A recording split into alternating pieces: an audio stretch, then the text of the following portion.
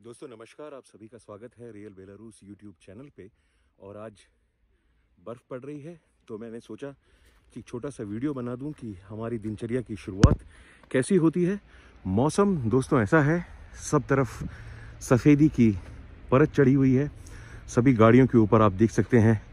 ये एक सामान्य कोर्टयार्ड है, जहाँ पे सामान्य लोग रहते हैं। और ये हमारी गाड़ी है जिसपे इतनी बर्फ़ है। अब हम सबसे पहले जो काम की शुरुआत करेंगे, वो ये करेंगे कि हमारी गाड़ी से बर्फ़ हटाएँगे। उसके बाद हम अपना कोई काम शुरू करेंगे। तो यहाँ पे सबसे पहला काम ये करना पड़ता है और बर्फ़ हटाने से भी पहले पहला काम है कि गाड़ी को हम, देखिए कितनी मोटी बर्फ़ है। तो उसके पहला का काम ये है कि हम सबसे पहले गाड़ी के अंदर घुसेंगे, उसे स्टार्ट करेंगे और जब तक उस 10 मिनट में गाड़ी स्टार्ट होगी, उसके बाद हम तब तक हम बर्फ़ की सफ़ाई करेंगे। आप ये देख सकते हैं, अंदर एकदम अंधेरा है, क्योंकि गाड़ी में बर्फ़ जमी हुई है। बहुत ज़्यादा ठंड तो नहीं है, क्योंकि जब भी बर्फ़ गिरती है दोस्तों तो बहुत ज़्यादा ठंड नहीं होती है। अभी माइनस टू है, माइनस वन पॉइंट फाइव दिखा रहा है यहाँ पे हमको। और दोस्तों, अब शुरू करते हैं। दैनिक काम। पहले बर्फ़ हटाओ। हालाँकि बर्फ़ हटाना उतना कठिन काम नहीं है आप देख सकते हैं इतनी मोटी बर्फ़ की चादर है, क्योंकि अभी बहुत ज़्यादा ठंड नहीं है।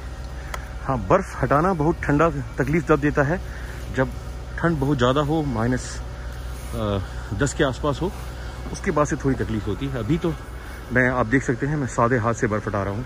मैंने कोई ग्लव्स भी नहीं पहना हुआ है।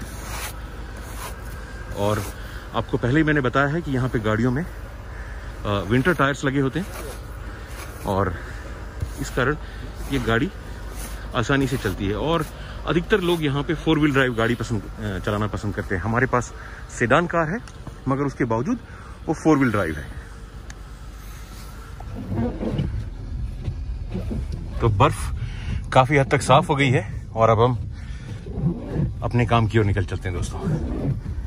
अगर आपको मेरा चैनल अच्छा लगा, और आपको ये वीडियो अच्छा लगा है तो ज़रूर दोस्तों, इस वीडियो को लाइक करें शेयर करें अपने दोस्तों के साथ और इस चैनल को सब्सक्राइब करें। दस विदानिया।